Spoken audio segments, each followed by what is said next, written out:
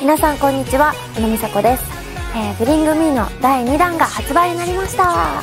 えー、今回は、えー、まとったその瞬間から、えー、大人の魅力を感じられるような、え素敵な香りになってます。何度も試行錯誤を重ねてやっとできた香りなのでぜひ皆さんに気に入っていただけると嬉しいなと思います。